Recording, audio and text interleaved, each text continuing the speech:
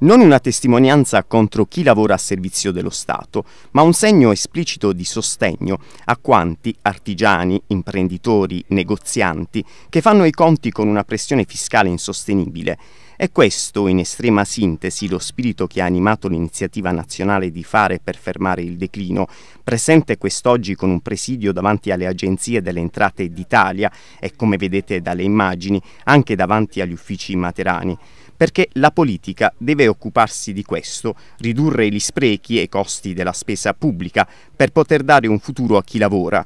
Dopo i congressi, il movimento liberista degli illuminati e degli economisti, fondato da Oscar Giannino, è ormai una realtà politica a tutti gli effetti. Michele Boldrin ne coordina le attività a livello nazionale, mentre dopo lo scandalo della laurea finta, Oscar Giannino rappresenta uno degli attuali 10.000 tesserati, sia pure di eccezione.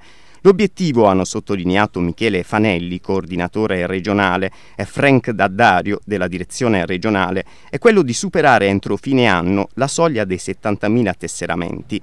Fare, hanno ribadito, non si muove secondo gli schemi tradizionali della politica e non mira al dialogo con i blocchi di potere precostituiti né a livello nazionale né a livello regionale.